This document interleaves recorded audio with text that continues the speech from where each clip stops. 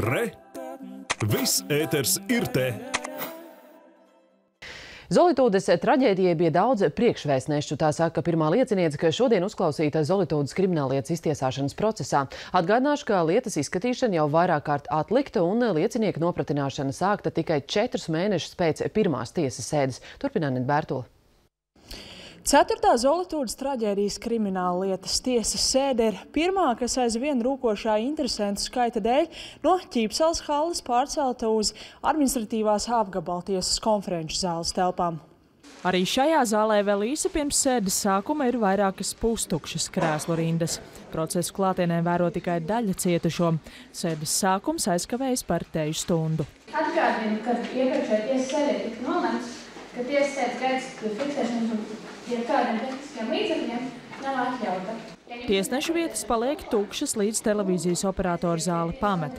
Kad noskaidrot šīs sēdes dalībnieku sastāvus, apsūdzētā būvinženiera Ivara Sergeta advokāts norāda tiesai, ka apsūdzēto aizstāvībai nav bijusi iespēja iepazīties ar visiem lietas materiāliem.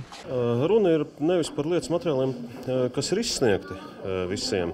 Runa ir par projektu tehnisko dokumentāciju, kas ir izņemta dažādās skatīšanās, gan pie Maksimas, gan pie projektētājiem, gan pie būvētājiem. Un šeit ir runa kopā par 50 kastēm dokumentu. Tas ir kastes dokumentu. Tas ir vairāk kā nu, apmēram 600 sējumu vismaz. Jā. Un pirmo reizi mēs šos dokumentus redzējām martā. Un pa visu šo laiku mums ir bijušas nu, praktiski pusotra darba diena, ko mēs esam pilnībā izmantojuši, bet nu, fiziski nav iespējams to visu izskatīties. Kā tiesai pauda advokāts, lietas izskatīšana varētu turpināt bez pārtraukuma, ja aizstāvībai tiktu izsniegtas visu minēto materiālu kopijas. Tomēr tiesnesis Zvejselnieka prasību noraidīja. Tūlīt pēc tam prokurori atsāka lasīt apsūdzības. Lai arī daļa apsūdzību bija nolasītas jau iepriekšējā tiesas sēdē, tas aizņēma teju divas stundas. Neviens no apsūdzētajiem savu vainu neatzina. Cietušie, protams, ļoti, ļoti cerēja, ka kaut viens no apsūdzētajiem savu vainu atzīs.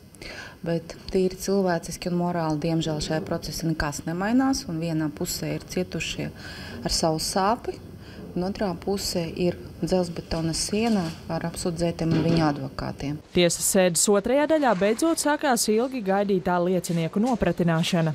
Viena no Maksimas darbiniecēm, kas traģēdijas dienā atradās veikalā kā apmeklētāja un pameta to īsi pirms nogruvuma, atklāja, ka nekad nav piedalījusies mācībās par darba aizsardzību un norādīja, stipra lietus laikā ēkā bieži tecējas ūdens, kā arī pēdējā gada laikā vairāk kārt skanējusi signalizācija. Tikmēr būtisks pavērsiens noticis vienā no traģēdijas civillietām.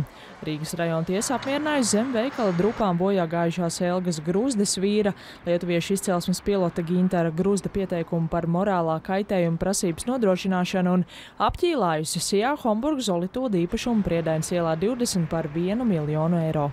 Šis lēmums patiesībā ir uzskatāms par tādu simbolisku lēmumu, jo prasības nodrošinājuma gadījumā tiesa izvērtēja prasības pirmšķietamo pamatotību, faktiski dodot mājienu par kādu iespējamu potenciālu nākotnē summu prasību varētu tikt apmierināti. Kā norāda vairāk traģēdijā cietušo advokāts Aldis Gobzems, šī lieta ir analoga citām Zolitūdas civillietām, tāpēc līdzīgs lēmums būtu sagaidāms arī pārējos procesos. Zolitūdas krimināllietas iztiesāšana turpināsies nākamnedēļ. Anita Bērtula, Normund Čirkstēnis Kupčs, Latvijas televīzija.